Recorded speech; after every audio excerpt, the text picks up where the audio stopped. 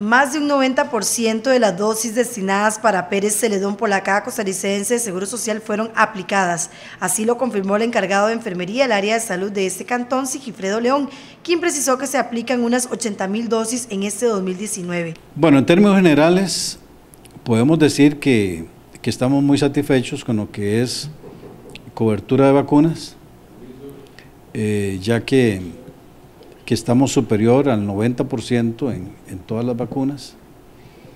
Y eso pues es satisfactorio porque nos garantiza que la población está debidamente cubierta, que la población está debidamente protegida y entonces eh, en términos generales está muy bien.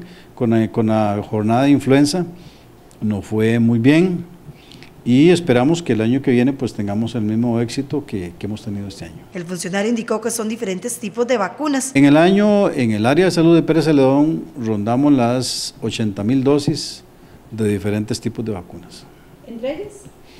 Entre ellas tenemos, eh, empezando con, con hepatitis, la pentavalente, eh, la, la, que se pone para, para el sarampión rubio de la papera, la varicela, eh, en fin, incluyendo todos los tipos de vacunas, más o menos 80 mil dosis en, en el año. León destacó la importancia de las vacunas. Después de que, de que después del agua potable,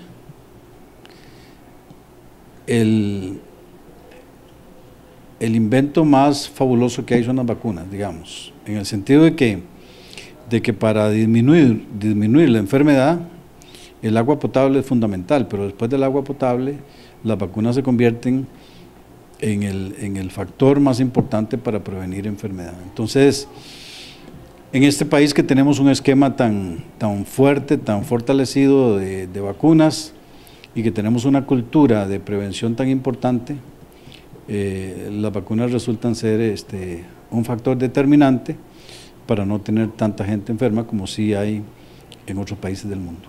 En el 2020 esperan continuar con la aplicación de las dosis.